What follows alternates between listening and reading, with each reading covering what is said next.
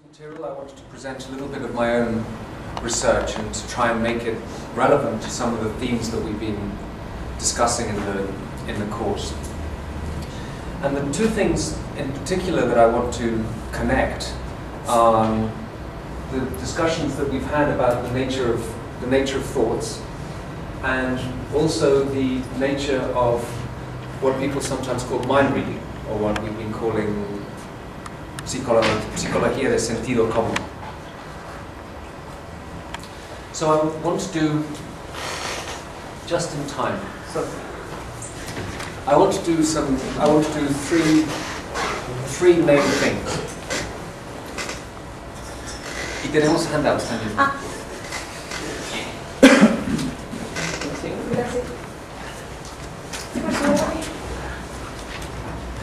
So I want to make some distinctions. This is my favorite activity, and I think it's probably the most important thing that, that we can do as, as philosophers in thinking about, particularly about experimental evidence.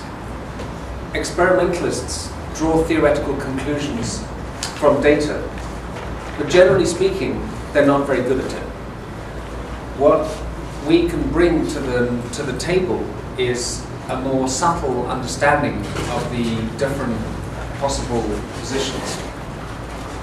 And to make sure that the conclusions that people draw from their experiments are indeed, indeed um,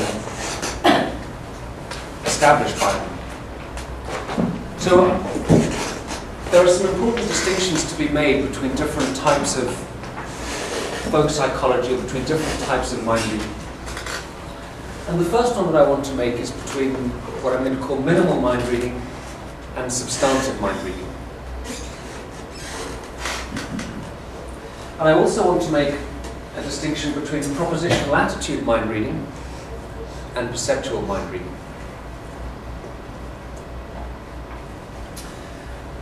One of the things that we've been talking about a lot in the course is the importance of propositional attitude mind reading in understanding social coordination. This idea that we find, for example, in David Lewis, we looked at last week, that all, almost all human social interaction depends upon our propositional attitude psychology. And I want to say a little bit about how we can, why that's not necessarily true, that there are alternatives to propositional attitude mind reading in making sense of human coordination and social understanding. And I want to do this because I, it seems to me that there are reasons to think that propositional attitude mind reading is language dependent. And so it's not something that we were going to find in the animal kingdom. But as just emerged from the presentation just now, animals are not stupid. There are lots of intelligent behaviors that we can discover. The question is not are animals intelligent, but how do we understand their intelligence? And the idea that I want to get across, one of the ideas that I want to get across, is that we can understand animals as being very psychologically intelligent without thinking that they're capable of propositional attitude mind reading. So I think that a lot of the discussion that we've already had today has been too, has been very black and white. Are animals capable of thinking? Are they not capable of thinking? Are they intelligent? Are they not intelligent? Are they stimulus response creatures or not stimulus response creatures? It seems to me that there are many different levels of intelligence that we can take into account and use to think about animal behavior. So let me start by talking about what I want to call minimal mind reading. And this is something that we find in the animal kingdom. And I, I, I prepared this talk to give to um, the Center for Study of Evolution in Leipzig, um, run by Michael, Michael Tomasello, who was mentioned earlier, earlier today. So I was focusing particularly on animals. But minimal mind reading we find also in humans, but it's basically forms of social coordination that involve sensitivity to the psychological states of other participants. just sensitivity. This is very a very neutral word. Mm. I want to start as neutral as possible and then make it more specific. But it's not completely, it's neutral, but it's not empty. Okay? So there are two things that we might want to distinguish it from. There are lots of examples of psychological sensitivity that don't involve social coordination. So, for example, if you look at a flock of birds, you often see um, the emotion of fear spread through it as they all take off. What we get is an emotional contagion, psychological sensitivity, sensitivity to the psychological states of other participants. But there's no coordination. There's just a, um, there just happens to be collective action without coordination. And there are lots of examples of social coordination without psychological sensitivity. So when I gave this talk in, in, in Leipzig, one of, the, one of the researchers there gave me a very nice example of this, which I will share with you, particularly since Rodrigo has always been talking about crows. So you're obsessed with crows. Well, your dreams are just about to come true if I can make this work. So this, I want this, this is an example of sophisticated social coordination in crows. But, and it's very impressive. But the point I want to extract from it is this is social coordination without, that we can explain, we can understand, without thinking that it involves any social, without thinking that it involves any psychological sensitivity.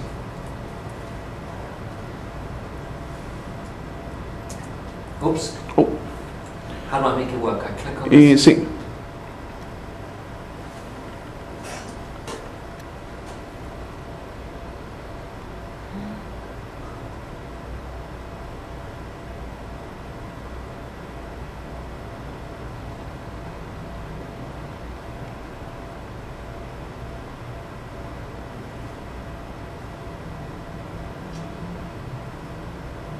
So this is pretty interesting. So what we have is a coordinated behavior. And what both crows in some sense understand is that they can't achieve their goal unless they coordinate their behaviors, unless they both, both pull the string at the same time. But it seems to me that the crows are not acting, we, in understanding what they're doing, we don't need to think that they are sensitive to, to each other's psychological states. There's no mind reading going on here.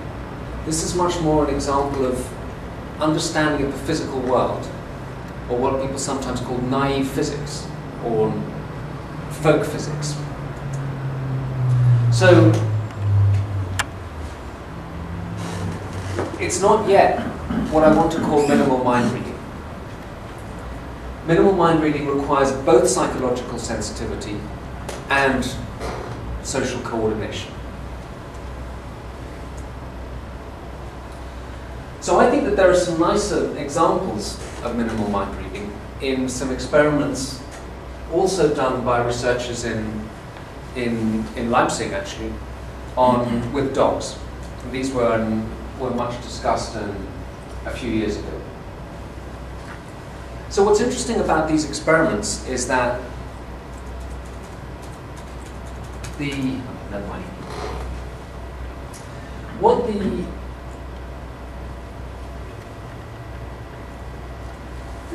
an experimenter has two, two boxes, and there's food hidden in one of the boxes. And the aim of the dog, the, the dog's aim obviously is to get the food. And what the experimenter does is signal the presence of, signal which box the food is in. And they do this with a range of different cues. So they can look at the box that's got the food in it, or they can point to the box that's got the food in it or they can shake the box that's got some food in it. They can nod their heads towards it. All sorts of different, different cues. And what happens is that the dogs are very good at, um, at detecting, at detecting the, uh, the presence of the food. So what they're capable of is responding to different cues. And these cues all have a common cause. They're all caused by the same thing. They're caused by the, by the experimenter's psychological state. The experimenter intends to signal the location of the award, of the, of the reward, of the food. And the dogs are sensible to this, are sensitive to it. They can, they can understand it. They can, they can act in accordance with it. But what I want to say about this is also that they can do this without representing the psychological state. So what we have here is a type of social coordination. The experimenter and the dog coordinate so that the dog gets the reward. But the dog is not necessarily representing the psychological state of the experiment. The dogs are sensitive to it, but they don't have to be representing it.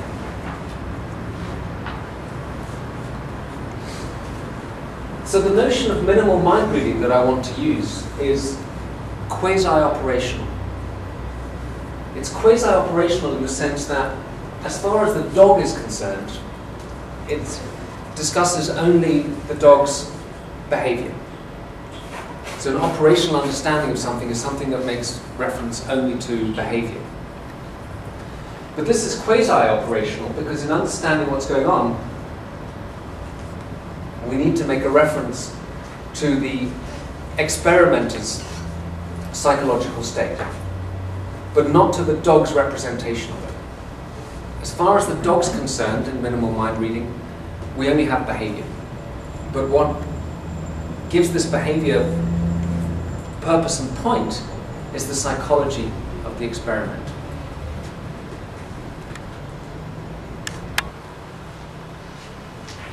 So here's a definition of minimal mind reading.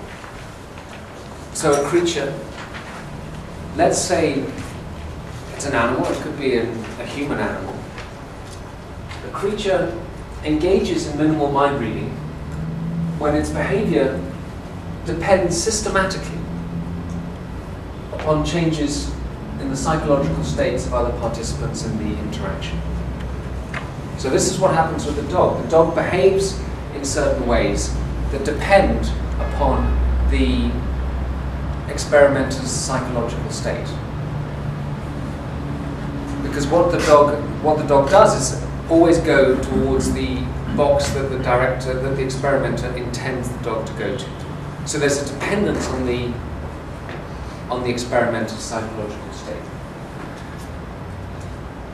Uh, sorry, Yeah. uh, when you say that uh, the dog uh, can re- respond to the um, to, to the cues that are uh, exhibited by the investigator, um, you, you, you can infer that uh, by that uh, behavior the dog has some sense of the intention of the of the investigator. Yes, No. uh, some sense, No. sensitivity. Sensitivity maybe. Uh, and uh, so uh, you uh, you are talking uh, that the dog is conscious of uh, that his behavior uh, is uh, leading in that in that direction. So he this is like a, a, an automatically response to a stimulus. Well, it's not an automatic response to a stimulus, but it's acting in a way that acting in a way that reflects or is sensitive to the common cause of lots of different stimuluses. But it could just be stimulus response after all. So I make a movement and you go there and you find food. I make another movement and you go there and you find food. Pretty soon you think, if I follow this guy's movements, I'm going to find food every time. Now that doesn't require representing my intentional state, but nonetheless you're sensitive to my intentional state because where I'm pointing is caused by my intentional state. So there's a common cause for those things that is in psychology. And the dog is sensitive to the commonalities at the level of behavior, but not necessarily to the psychological cause.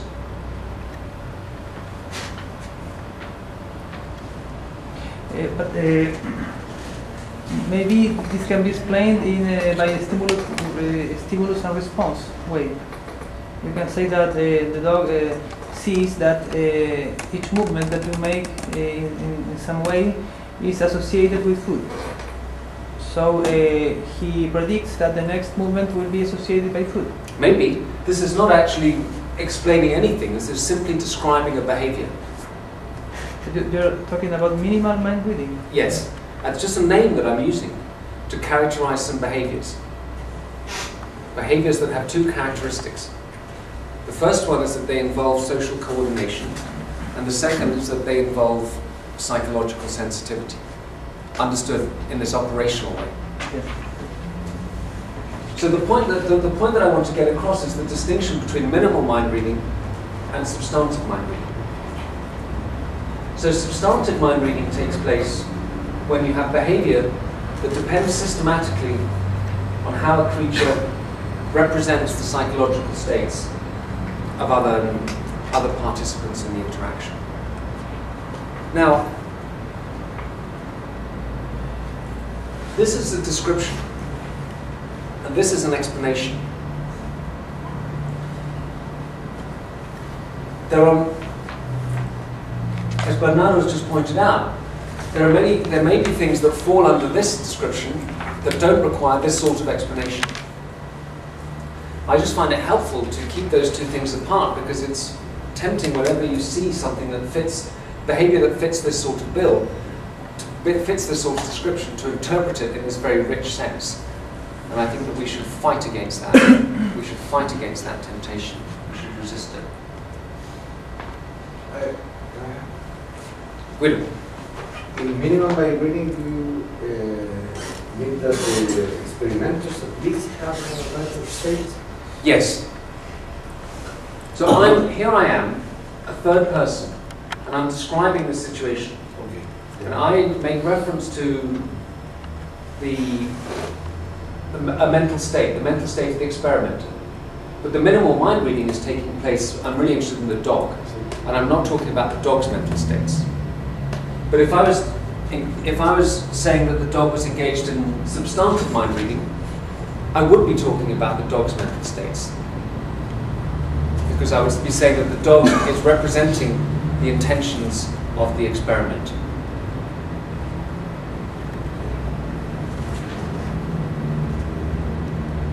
Okay, so this is what it looks like. Okay, so sorry, so this is what. Um, so the, ne- the next thing I want to say is that substantive mind reading comes in two types. So this is already a very rich accomplishment, but we can understand it in two different ways. There are two different types of mind reading that are going on, and this is crucially important for what I want to get across. On the one hand, we have perceptual mind reading, which involves representing the perceptual states of another creature.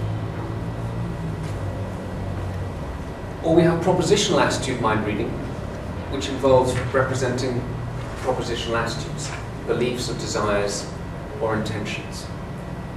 Now, just to jump ahead a little bit, it seems to me, and it seems to other people who, to, who, to some other people who've studied the experimental literature on animal cognition, that all examples of animal cognition come over here. That there's no propositional attitude mind reading in the, in the animal kingdom. So Povinelli certainly takes that view, but it's also the case that Tomasello takes that view, takes that view as well. In fact, there are very few people who think that propositional attitude takes place in the mind reading, in the, in the animal kingdom. And that was why, in the context of Bernardo's presentation earlier, I was asking him about which types of thinking were going on. What sort of representations do you need to attribute? And I had particularly in mind, do you need to attribute propositional attitude mind reading to explain the social behavior of chimpanzees, or can you do it in terms of perceptual mind reading? But anyway, both perceptual mind reading and propositional attitude mind reading are types of substantive mind reading. And substantive mind reading is a type of minimal mind reading, and minimal mind reading involves both social coordination and psychological sensitivity. The point of this diagram is that the arrows all go this way. They don't go this way. So just because you've got evidence of psychological sensitivity, you can't automatically conclude that you've got propositional attitude mind reading, for example. So the point that I want to make is that you can observe lots of behaviors, but there are many different levels of sophistication in which you can interpret. And these, I think these levels often get uh, run together in, in discussions of, uh, of experiments. So, let me try and bring out why I think that this distinction between propositional attitude mind reading and perceptual mind reading is important. And I just want to go back to start thinking not about propositional attitude psychology or mind reading, but just about behavior and the psychological explanation of behavior. Because this is really something that we've been talking about since six o'clock, well, since 20 past six last Monday. And when we started out, we started out talking about Davidson. And one of Davidson's big ideas that we talked about was the idea of the holism of the mental. And at the heart of it is this simple idea that's on the board. Psychological states don't generate behavior on their own. We need to think of the way in which psychology, particular psychological states cause behavior, is a function of an agent's complete psychological background. So we saw this particularly in the discussion of Davidson. Davidson's argument for the anomalism of the mental depends upon the idea that there are indefinitely many defeaters. There are indefinitely many defeaters because there are indefinitely many different possible psychological profiles. So the belief and desires that might cause behavior relative to one background psychological profile won't necessarily cause the same behavior relative to another background psychological profile.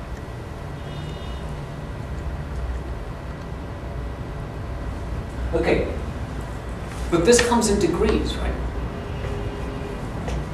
Some psychological states have very direct implications for action, and some feed into action only very indirectly.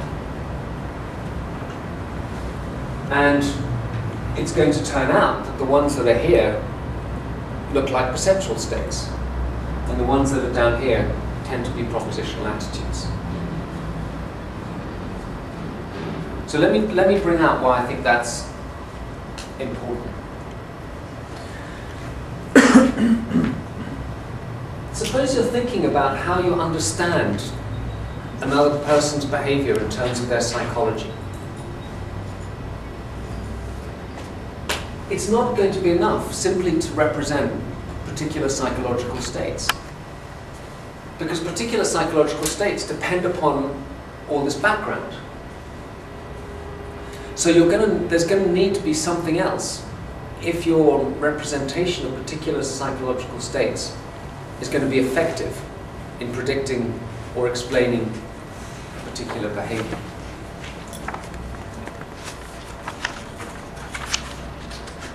In particular, it's going to have to be the case that the predictions that you make are in conformity with the agent's background psychological profile.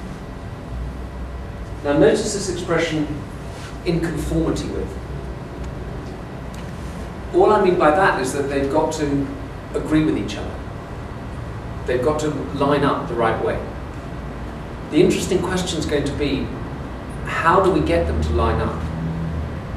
And this is going to be where the distinction between perceptual mind reading and propositional attitude mind reading becomes really important. What do I mean by them being in conformity? Well, I mean that the predicted behavior. So here's a normal human being who believes that it's raining and doesn't want to get wet. So I assume that they will go outside with their umbrella. For that prediction to work, it's got to be the case that that person's background psychological profile is such that if they don't want to get wet, they will take an umbrella with them. So, for example, they don't believe that rain comes upwards rather than downwards. So the, the background psychological profile has to be lined up. The prediction has to be appropriately lined up with the background psychological profile.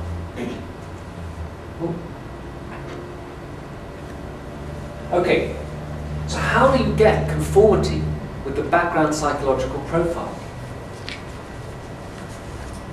Here are at least two ways of doing it. You can explicitly represent the whole of the psychology. So I can represent the person's desires not to get wet, they believe that it's raining, they believe that rain goes downwards, not upwards, they believe that umbrellas are impermeable to water, and so on and so forth. And then I can use general principles that connect psychology and behavior.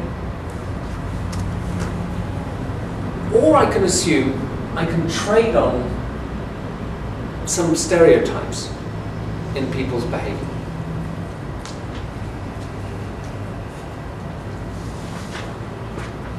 Now, the way in which this is going to work, so what I'm going to say is that propositional attitude mind reading requires explicit representation. Perceptual mind reading usually requires simply being able to trade on generic and common background psychological profile. So propositional attitude mind reading is going to come out as a much more a much more straightforward intellectual achievement. Any any questions on the general lie of the land up to now? Clear? True? We'll see. Well, we'll see. Okay, good. Good. good. That's what I meant. okay. So here's a basic principle about explicit representation about the first of the two options. The more different people are, the more you're going to need to go into the background of the psychological profile. And so if you're trying to explain their behavior with reference to psychological states, the more you need to explicitly to represent how an agent might reason their way to a conclusion.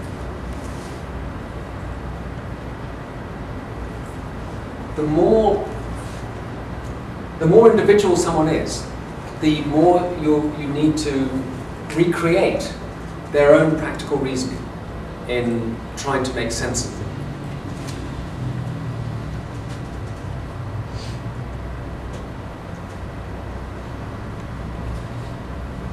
And the principle of the holism of the mental that we've discussed in the context of Davidson and other people might be put in this way. Propositional attitude mind reading always requires explicit representation and explicit reasoning. There's no simple rules that will take you from particular beliefs and particular actions to, to particular actions because the belief only leads to the action relative to some sets of some background psychological profiles, but not relative to others.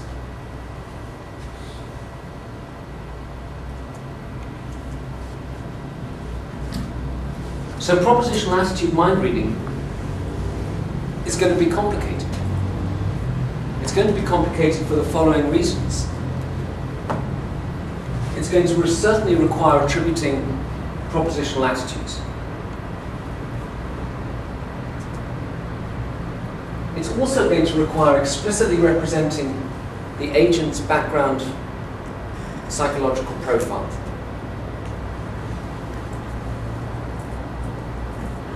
And it's also going to require reasoning about how these two things, some particular propositional attitudes and a particular psychological profile, might lead to action. So really this is turning out to be quite a um, sophisticated intellectual achievement. And those of you who came to the talk I gave here, here, in this very room, um, whenever it was, last, last skiing season, August I guess it must have been, may remember that I had this argument that logical reasoning is language dependent. And the version of the argument that I want to give today, if we have time, is that propositional attitude mind reading is going to be mind dependent because this sort of stuff requires explicit representation of logical relations. We'll get to that. We'll get to that. For the, for the moment, let me just contrast propositional attitude mind reading with perceptual mind reading, which need not require explicit representation of the background psychological profile or explicit reasoning. So suppose I see a $100 bill on the ground and I see someone see it. I will immediately predict that they will bend over to pick it up. Because it's just standard bit of human psychology that they prefer free money to no money. This is not going to work if it's propositional attitude mind reading. If I just know that someone believes that there's money on the, on the ground, that's not enough for me to know, for me to instantly to, to say that they, they, um, that they will bend over to pick it up. I need to also to attribute to them a whole bunch of other beliefs. The beliefs, for example, that the money's within, within reach, that it's visible, that the place where they believe it to be is the place right in front of them that's within reach. All those other beliefs need to be brought into play. But if they're just standing there looking at it, all those beliefs can obviously be taken for granted. So my propositional attitude mind reading is much simpler. And what I'm, what I'm doing, and what propositional attitude mind reading in general is doing, is trading on direct connections between perception and action. There are lots of direct connections between perceptions and actions. If I see a predator, I usually free, uh, flee, flee. if I see food, and I'm thinking, remember I'm thinking about animals. If I see food, I will go and get it. If I see a potential mate, well, we won't, we won't go there. so there are predictable responses to seeing a predator or a food source. So what I want to, perceptual mind reading could be a much simpler, a much simpler activity than propositional attitude mind reading. It doesn't require all this background stuff. It doesn't require thinking about how beliefs might feed into action. Hmm. It doesn't require representing background psychological profiles. It's a different type of intellectual achievement. Okay, so so what I've talked about is a basic distinction between minimal mind reading and substantive mind reading, and propositional attitude mind reading versus perceptual mind reading.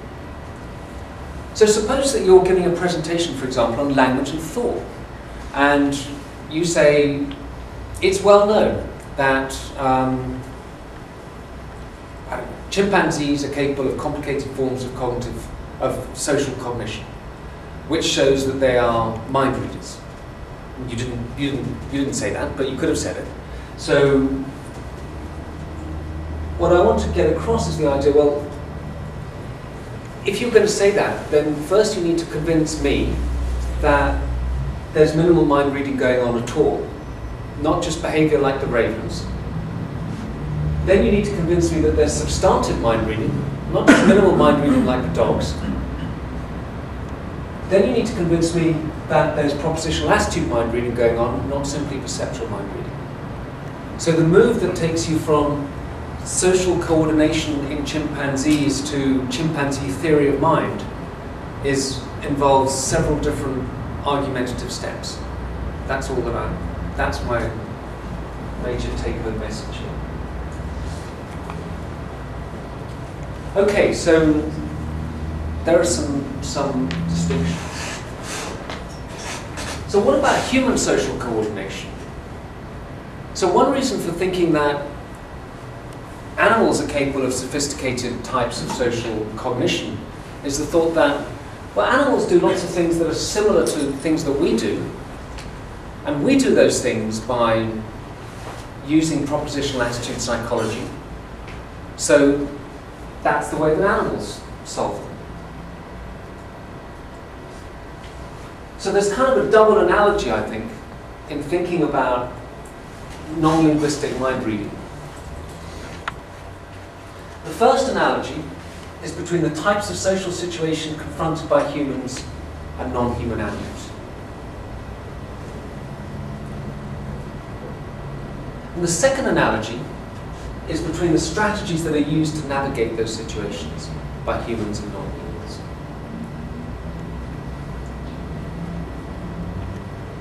So,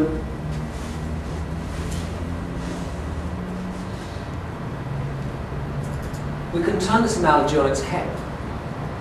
We can sort of run it in reverse, as it were. We can apply the well-known principle of one man's modus ponens is another man's modus tollens that was discussed several times last um, last week. Because the standard ways of applying this double analogy stress the centrality of propositional attitude mind reading in human social life. And we've seen examples of this. We saw examples of this in the context of uh, Lewis, for example. And we'll see another example in a minute. But suppose instead that you can show, well, actually, this is exaggerated. Propositional attitude mind reading is not as dominant as people think it is. Then, if you do that, then it becomes much less plausible to think that there's a propositional attitude mind reading. It weakens the case for propositional attitude mind reading in the animal kingdom. So we've already seen one way, one way of doing this. Can anyone remember what that, what that was? Showing that complicated, relatively complicated forms of social understanding that are standardly interpreted in terms of propositional attitude psychology can actually be understood in similar, similar, simpler terms.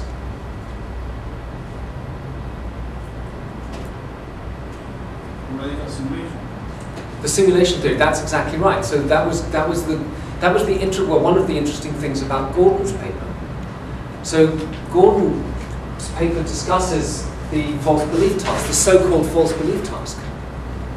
So there's something we have a behavior that is standardly interpreted as requiring propositional attitude mind reading. I can't solve the, solve the false belief task, says Joseph Perner and a whole bunch of other people, unless I apply concepts of belief and desire. So Bob Gordon's idea, in contrast, is well, actually, it's much simpler than that. We just do some recentering. We think about how things might look to us if we were in that person's position. So when I say a philosopher's myth, I don't mean to imply in any sense that you should not think it's true. So here's the philosopher's myth. Trees and planets behave in relatively regular ways. When the wind blows, a tree moves in much the same way each time. Mars moves through the sky in a highly predictable way. By contrast, human beings move in a quite bewildering variety of ways. Nevertheless, we often succeed in predicting what they will do. How do we do this? By treating them as subjects with mental states. By observing what they do and say, we arrive at views about what they're thinking, what they desire, and closely associated views about their characters, mental capacities, and in general about their psychological profiles. We then, in terms of those profiles, predict what they will do. So here's a very clear statement of the view that we also find in David Lewis. Human beings are so complicated, and we also find in the Fodor, for example, at the, at the beginning of the persistence of the attitudes that we read last, last week. Human beings are so complicated, we couldn't get any handle on it unless we were thinking in terms of the concepts of propositional attitude psychology. Without concepts of belief and desire, the human social world would be opaque to us. We wouldn't be able to, we wouldn't be able to survive.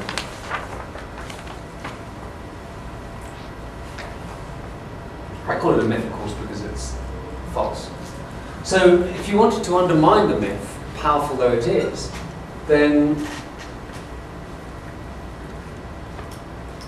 a good way to do it would be to find ways of modeling social interaction and social coordination that don't involve propositional attitude mind reading.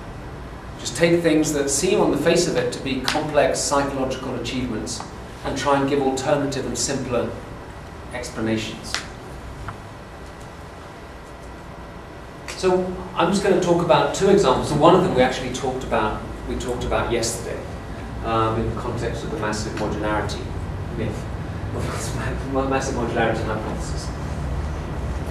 And this is the indefinitely repeated prisoner's dilemma situation. But I also want to talk about frame-based reasoning in routine interactions. And these are, these are both nice because they give us a way, this one gives us a way of thinking about some things that were mentioned earlier today. Vervet monkey communication behavior, which is often put forward as an example of, of, of sophisticated social cognition in the animal kingdom. And also tactical deception in primates, which is again often put forward by people who think that there's a theory of mind in, in, in primates. and kind of Bernardo alluded to alluded to both of those in, in his in his talk. Uh, what? You allu- alluded both to vervet monkeys and to deception in primates. Uh, Mono. Monos, los monos. No, los monos son, son los vervets. Pero los, well, actually, they were baboons. Well, we'll see. We'll see. You'll recognize it. It. Okay, so the iterated prisoner's dilemma. We don't need to say very much about this. We saw yesterday that defection is the dominant strategy in one-player games. It's also the dominant strategy when you know how many times you're playing the game. There's a well-known argument called a backwards induction argument. If you know what it is, then that's fine. If you don't, look it up.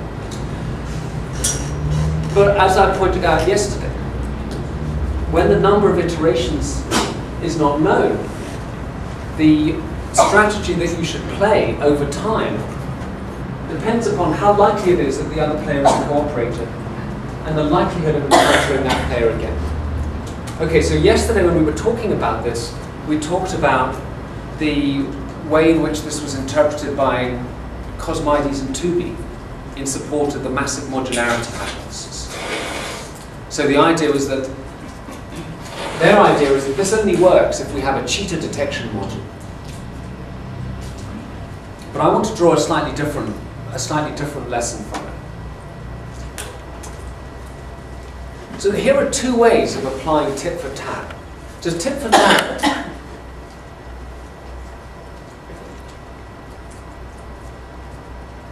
Okay, so there are two strategies. There's the, the mind reading strategy.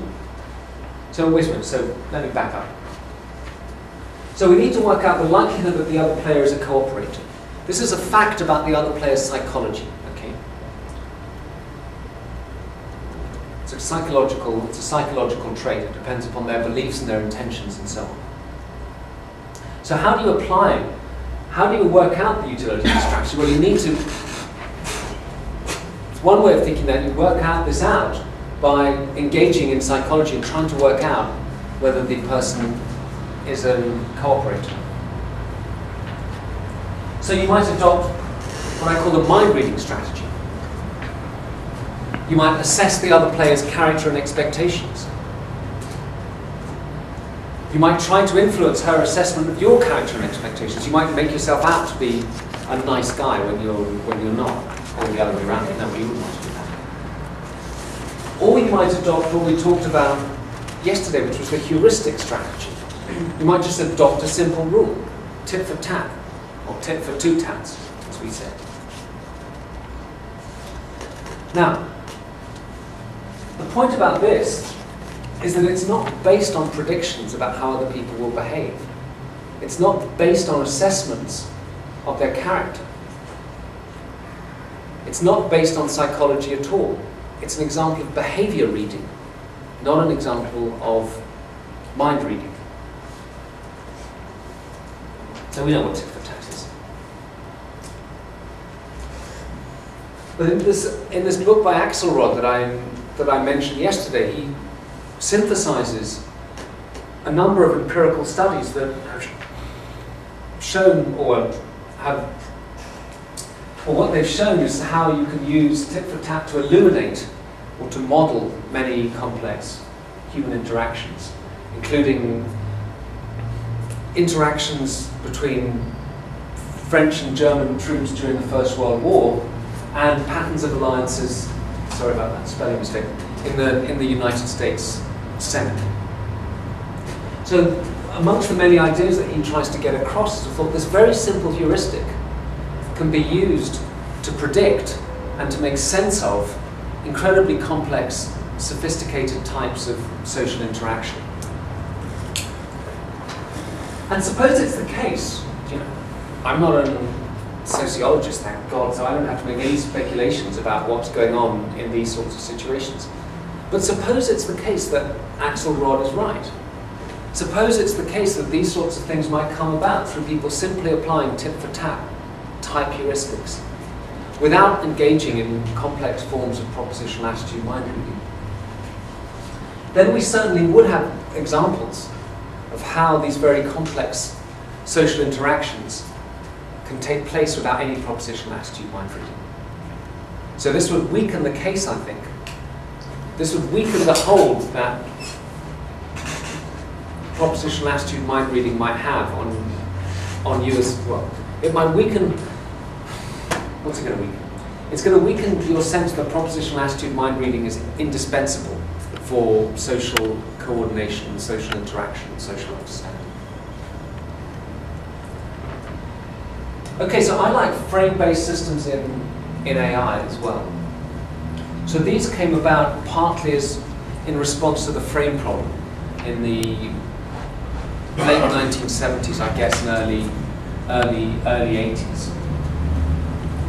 The idea was that people weren't having much success writing programs that would have sort of common knowledge databases in and that could integrate, draw on these knowledge databases to solve problems. So the alternative idea was to write programs that used very simple templates for routine actions and just allowed those templates to be modified to fit particular circumstances. So Minsky was a, a big guy in this. So here's Minsky on the subject. Here's the essence of the theory. When one encounters a new situation, or makes a substantial change in one's view of the present problem, one selects from memory a structure called a frame. This is a remembered framework to be adapted to fit reality by changing details as necessary. A frame is a data structure for representing a stereotype situation, like being in a certain kind of living room, or going to a child's birthday party, or seeing a leopard and alerting the other vervet monkeys. Attached to each frame are several kinds of information. Some of this information is about how to use the frame. Some is about what one can expect to happen next. Some is about what to do if these expectations are not confirmed. So he continues. We can think of a frame as a network of nodes and relations. The top levels of a frame are fixed and represent things that are always true about the supposed situation. Whenever there's a child's birthday party, there's certainly a birthday. But it depends, you know, it could be the second birthday, it could be the third, it could be the 14th, who knows. And the, so that's where the lower levels come in. These have many terminals slots that must be fitted in, that must be filled in by specific instances or data. So where you set the parameters. So this is a fourth birthday party. each terminal can specify conditions its assignments must meet. If it's the children's birthday party, then 27 is not an acceptable, an acceptable assignment. Simple conditions are specified by markers that might require a terminal assignment to be a person, an object of sufficient value, or a pointer to a subframe of a certain type. More complex conditions can specify relations amongst things assigned to several terminals. So the idea here is that instead of trying to, to there are lots of social situations that we don't try and solve from scratch. We have routines that solve them, and we just adapt the routines to fit the specific, to, spit, to fit the specific cases. So why is this interesting here? Well, one reason it's interesting is that the parameters for the frames don't have to be propositional attitude attributions. So I might have an interaction frame. I might have my restaurant frame, for example. So I go to the restaurant, I order my meal, at every stage it's clear what's, what's happening. And I'm just setting the parameters, and I'm following the frame. If you're Jackson, who we looked at before, what's going on? I'm interpreting the person coming towards me. I'm thinking, he believes that I'm a customer. He desires to receive my order. He believes that blah, blah, blah, blah, blah. And the frame gives us another way of thinking about it, where you don't need to go through all the propositional attitude stuff. So they can be purely behavioral, or they can just be set by perceptual mind reading. I can just see that the waiter sees me. If I see that the waiter sees me, then I can attract his attention and ask for the bill. I don't need to think, well, if he sees me making this gesture, then he will believe that I desire to have the bill. He, you know, so. so this way of thinking about things, I think, is interesting because it gives us a way of thinking about some of this observational data, sometimes cited as evidence of propositional attitude mind reading in primates. Now, you need to know a little bit of background here. So, the social intelligence hypothesis, or the Machiavellian intelligence hypothesis, was put forward by Byrne and Whiten as a result of their study of a database of observations of primates. So they basically just compiled lots of anecdotal reports of how people had observed primates in the wild and tried to categorize them into groups and then drew then just drew conclusions from that. They said, well, you can't, you know, we need to interpret these in terms of propositional attitude mind reading. They didn't use those terms, but that's what they did. But I think the frames-based approach provides another way of thinking about it. And what I want to stress is that this, the, the data that we've got are just observations. They're just people out, tourists, not tourists, they're, you know, well, they, they are tourists, they're academic tourists. But they're just writing down what they see. They're, these are not controlled experiments. This is not, this is not science in any shape or form. Uh, I can see clearly the difference between the, the behavioral response and the perceptual mind reading. For example, uh, in, in, in the example that you did uh, about the, the man that uh, thinks that uh, it's raining, so um, you, you can uh, make the inference that he's going to take his umbrella. And that was an, an example of perceptual mind reading. That was an example actually of propositional attitude mind reading. Uh, yes. Uh, but uh, you said that uh, sometimes you can make that inference without propositional representation.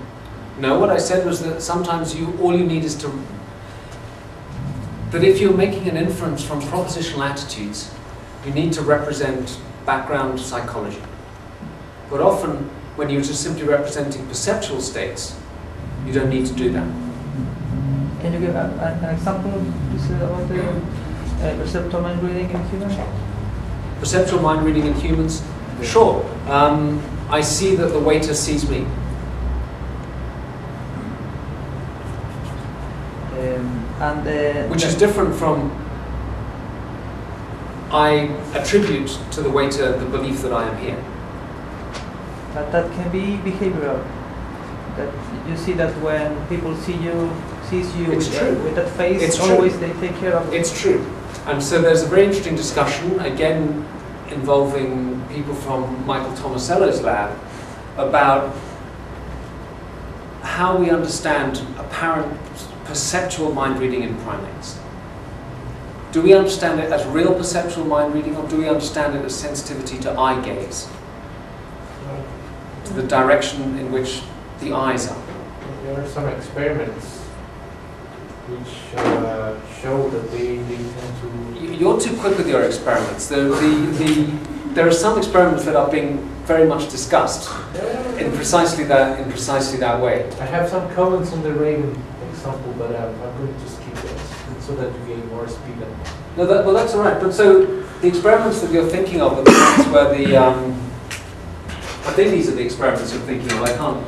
I'm not going to, to launch out into some massive propositional attitude mind reading here. I'm just going to. I'm going to just use a, a quick and dirty heuristic, which is probably that this is what you're thinking of. So the ones where we have. Um,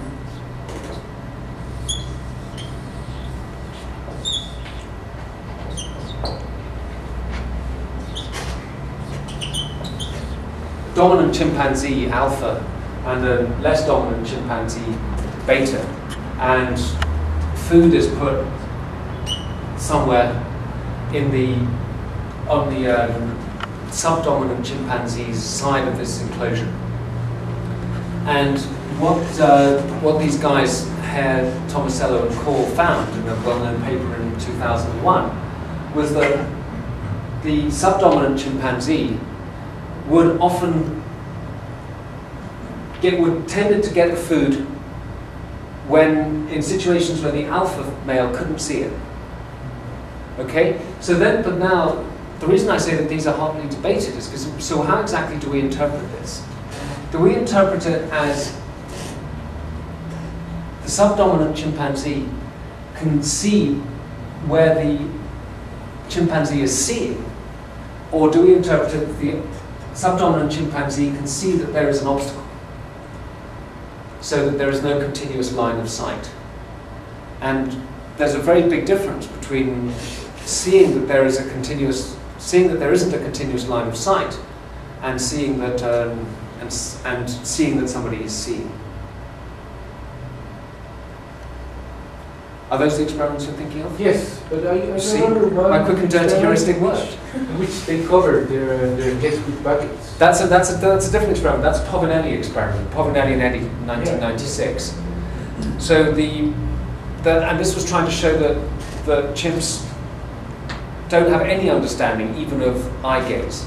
Yes. So the idea was that it was kind of like the dog thing. So you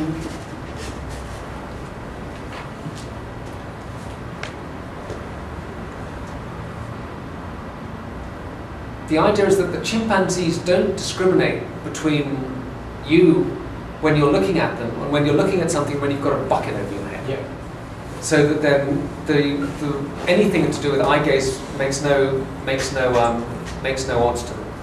Now the, the way in which people think about those experiments are very important for shaking people's confidence in in in overly overly quick interpretations of what's going on in chimps.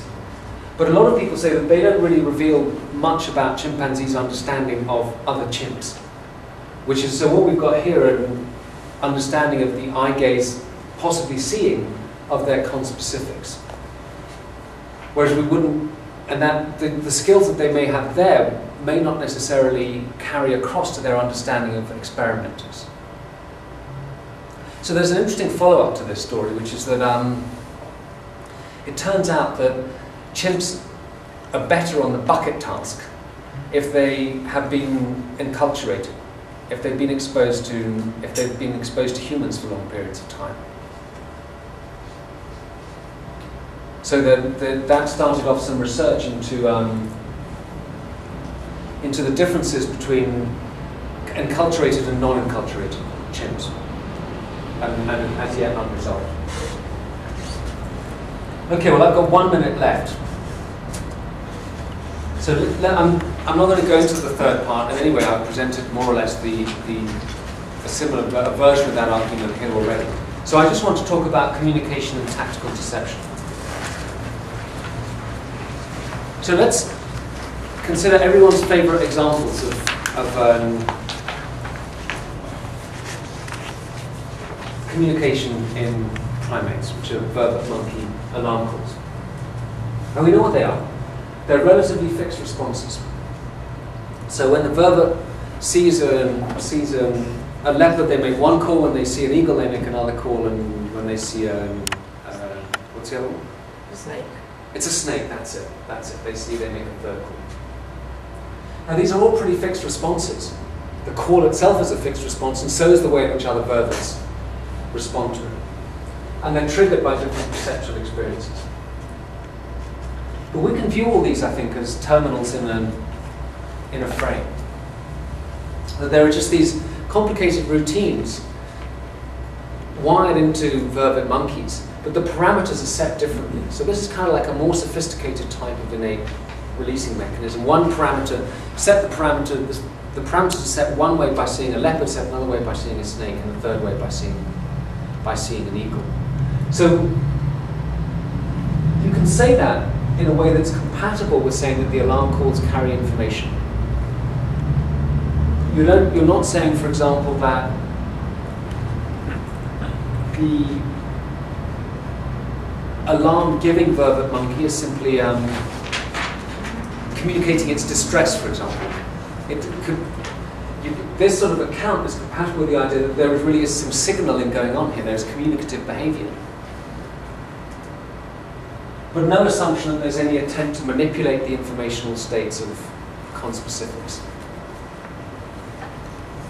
So there's a routine, and we're, we're all part of it. We, the community of vervet monkeys, or we are just for the moment. So we all know the routine. We know what happens. We know how to behave when we see a leopard. We know how to behave when we hear the leopard, the leopard cry. There's a complicated signaling information transfer within within that frame. But there's no sort of psychological. There's no mind reading going on. So tactical deception. Here are some more examples of line of sight type stuff. So Kummer. Um, there's a famous description of Kummer, who's um, well, it's an alpha male. It's a it's a subordinate male who's grooming a female behind a rock, and the female moves in such a way, and the alpha male moves in such a way that they are able to groom away without, um, in a way that exploits the existence of a rock blocking the line of sight between the um, between the dominant male and the, the dominant male and the um, and the alpha male. So from the alpha male's perspective, all the alpha male can see is a female baboon behind a rock. What Kummer can see from his vantage point is the female baboon grooming the subordinate male in the full knowledge that the full knowledge that the that the dominant chimp can't see what's going on. So this is really kind of the the in the wild version of of this sort of stuff. These experiments are ways to try and make these turn these observations into into something that looks like science.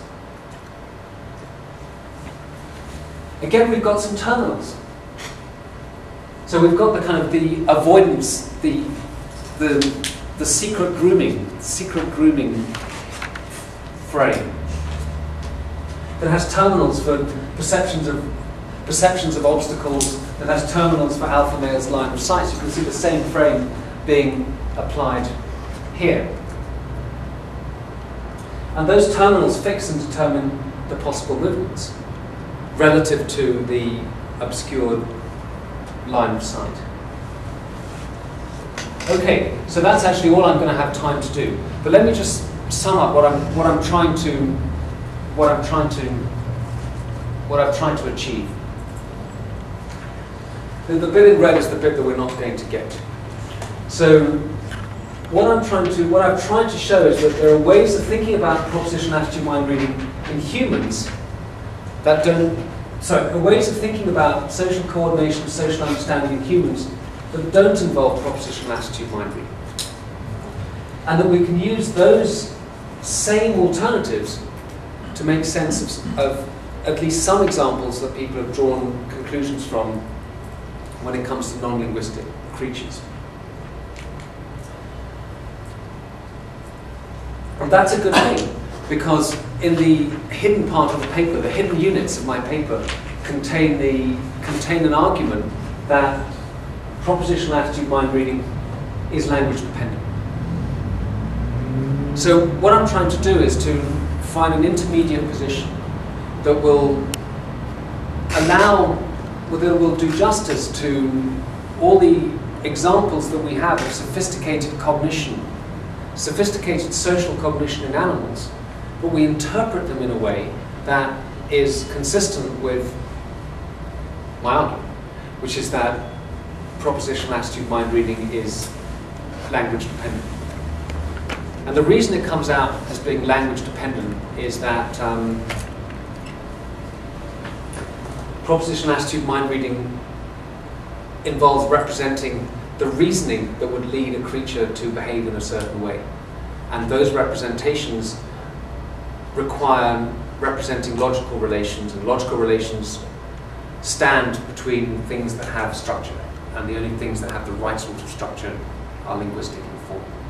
And there are some other bells and whistles in the argument, but that's the basic, that's the basic line. So I'm sorry I didn't have time to, to, to finish. But I have that's the end.